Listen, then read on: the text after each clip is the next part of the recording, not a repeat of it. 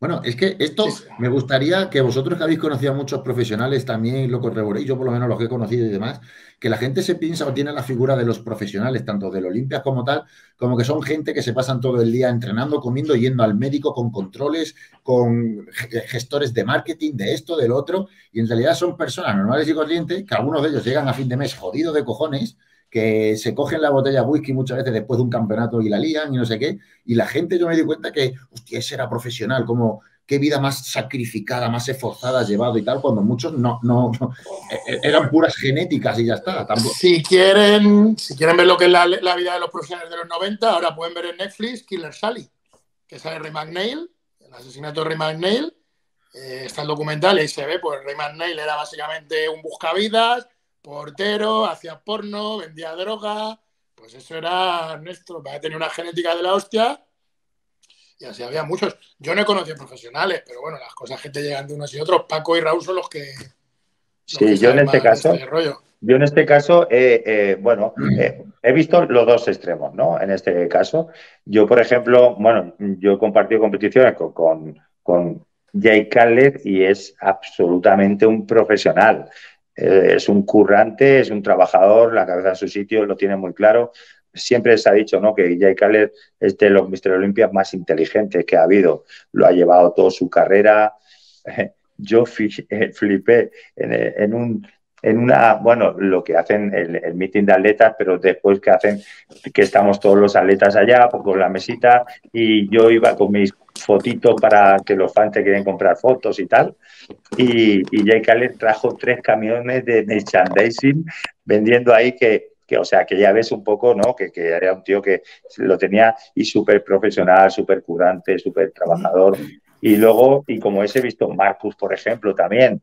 Eh, pero luego hemos visto también otros casos que dice, madre mía. Y, no, y a mí lo que me sorprendía muchas veces es con ese desorden, con esa vida que lleva, cómo, cómo puede llegar a tener eh, esos físicos, ¿vale? Chris Cormier era una pasada, o sea, el tío era un fiestero, ¿vale? Y, y, y, no ya que hayas vivido, sino que, que, que, entre el círculo de profesionales te cuentan, te dicen y tal, y dices barbaridades que dices, vamos a ver, escúchame, y luego lo ves encima del escenario y dices, puta, pero sí, puta madre. Ahora vengo. Este, este, va a mear. La, la entré un apretón y demás. Es que no, pero, es así, ¿eh? Y he visto los dos casos, por un lado por lo bueno y por, y por lo malo, ¿sabes? Y había de todo. Claro, yo es que me parece curioso porque incluso entre los profesionales españoles, eh, la gente que no los conoce, pues claro, los tiene como admirados y demás, pero la gente que los conoce, te das cuenta de que son gente de toda la vida, normal, como tu colega el del barrio, lo único que el cabrón come, entrena y se pone gigante y ya está, pero que tienen sus trabajos normales, no sé qué. Pero yo veo en los foros y tal, yo que me meto mucho en los foros y en estas mierdas, pues para, para ver la, bueno, la, gente cómo, cómo opina, qué opina de este deporte y demás. Y es que los tiene tan, tan idolatrados como de que son seres súper disciplinados. La típica frase de para ser culturista tienes que eh, dejar de lado toda tu vida. Todo Hostia, que no, que no, que hay algunos que no han dejado ni de lado las fiestas ni las drogas ni hostia, han seguido con ellas. O sea, que no tal. Y la gente tiene como, como esa imagen y me parece muy curioso porque la verdad es que, por ejemplo, Jay Cutler, eh, siempre todo el mundo ha dicho que es un empresario desde que empezó a ser culturista hasta que acabó y que lo sigue siendo a día de hoy. Y se le nota. Pero claro, hay otros pobrecitos que se retiran, como hablábamos de, Dexter Jackson, y se, le ves medio ofreciéndose por ahí para, para intentar sobrevivir. Y me parece curioso lo que opina la gente de lo que luego en realidad es esto. ¿Sabes? Y, quería que lo contarais vosotros, ya que habéis conocido, porque aquí en España se conocen muchos casos, lo típico que si Silvio Samuel, que si esto, que si lo otro y tal, pero bueno, como son de España no se le da importancia, pero que los de los yo, también. Yo, yo, conozco a muchísimos culturistas, no muchos pro, y he tenido relación con muchos, pero no he conocido, de los que yo he visto, de los que yo he tratado, yo no he conocido ninguno más metódico que este señor que está aquí con la camiseta roja. Yo no he visto nadie igual que Raúl a la hora de hacer las cosas, de tenerlas tan claras, o sea, de, ser pim, pim, pim, pim, pim, pim, desde amateur, ¿eh? O sea, se hizo pro precisamente por eso, por, por, por seguir pim, pim, pim, pim, pim, pim, pico pala. Y yo que he estado con él, en, he pasado muchas cosas con él, muchas, muchos viajes, mucha habitación de hotel, era una pasada a verle. O sea, desde, repito, desde antes de ser pro, era una pasada ver con qué orden, tío, llevaba las comidas, los suplementos, todo. Todo. O sea, era un grado de excelencia a la hora de prepararse. Bueno, y sigo. Me, me sigue incluso, gustando. Incluso había veces, ahora con los años hay, ves cosas que dices, a lo mejor no era la mejor de las preparaciones que estuve haciendo, pero la hacía de una, con una forma, tío, con una solvencia que me dejaba flipar.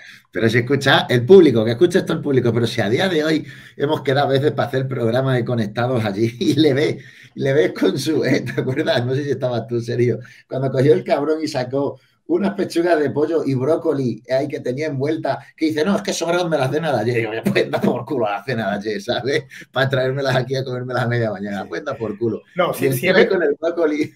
Yo, yo sí me considero, y lo sigo siendo, eh, extremista. Yo soy, yo soy de los culturistas eh, extremistas, de, siempre lo he dicho, cuando hay que pasar hambre, te mato de hambre y cuando hay que comer, hay que comer. Pero a día de hoy soy muy, muy, muy metódico. Y con todo el que o poco competidor que quiero preparar, igualmente soy siempre súper metódico. Y, y, fíjate, una, de, una de, de las personas con las que mejor me llevo y es de los que metódicamente es igual que yo, o más, porque apunta, es increíble, apunta hasta las puntuaciones de los competidores, es Milos.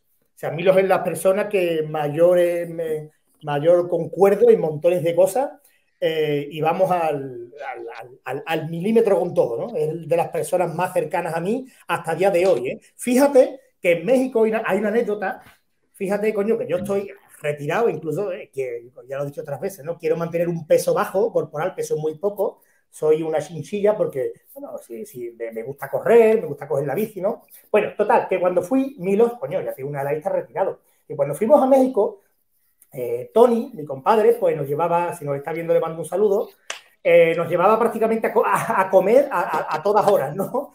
Y compartíamos mesa. Y Milos era muy mm, metódico con la alimentación, ¿no? Y yo me quedé observando y dije, joder, tío, con la edad que tiene ya retirado, pero yo estaba igual. Total, que yo me levanté y me cogí un postre, era un buffet, me cogí un postre, que era una natilla, no sé qué, y Milos me dijo, ¿dessert?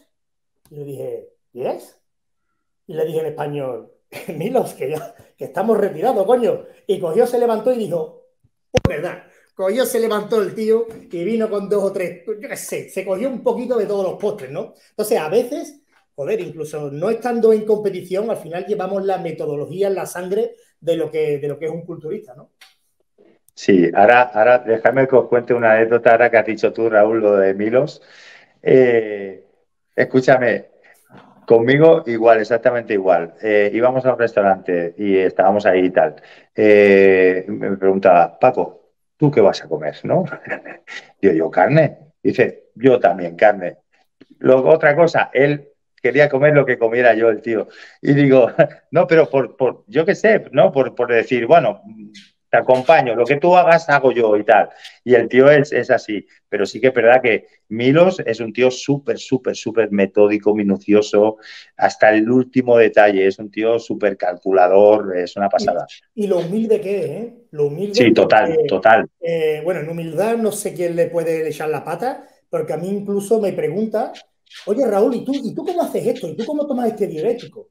¿Y tú cómo? O sea, él no es nadie. Él pregunta, oye, comparte eh, información, contrastamos. Ah, muy curioso, pues lo voy a probar. No sé, o sea, el tío es, y de verdad que, pues por alguien es, quien es, ¿no? Como, como, preparador y como persona. Sí, totalmente, Raúl. Escucha, eh, y conmigo igual, incluso cuando no nos conocíamos tanto, que no, en la época que coincidió con el que estaba en Vito que coincidíamos más y tal, pero ya de antes, o sea, y preguntarme, ¿no? Aquello que, de verlo dos veces, eh, y preguntarme, oye, ¿y tú cómo haces esto? ¿Y cómo lo hace el otro? Y, y tú dices, joder, me lo está preguntando Milos Sarcer. Y, y, y, aquello que dice, bueno, pues porque quieres saber información. No, no, no, no, no, pero no porque tiene la curiosidad, pero luego te comparte, y luego te dice, oye, pues mira, esto así, esto lo otro, esto, y te dice y dices, hostia, y, tiene esa curiosidad y luego él lo analiza, lo estudia, lo, ¿sabes lo que te quiero decir? Es súper interesante haber conocido a Milos, es una pasada.